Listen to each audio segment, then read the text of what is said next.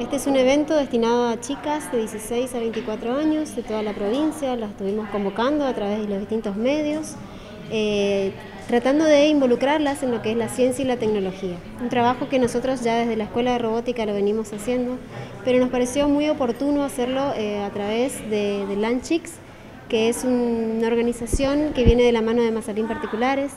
Mazarín Particulares con quien ya venimos trabajando a través de Conciencia, cuando hicimos todo el trabajo con la CEFA, la entrega de, las, de los kits a las, eh, a las escuelas de familia agrícola en las zonas tabacaleras.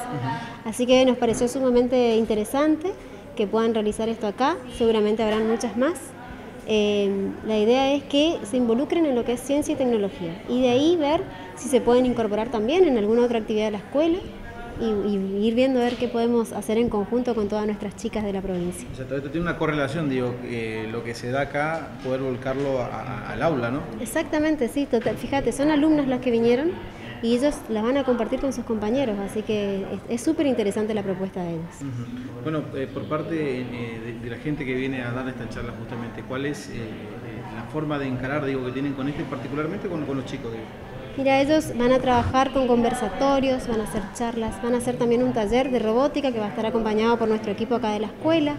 Ellos vieron la necesidad de eh, incorporar a las chicas porque siempre que hacen eventos de tecnología ven que el porcentaje de mujeres es menor. Entonces impulsaron esta idea que está muy buena y que la verdad que ojalá que la aprovechen las chicas de hoy.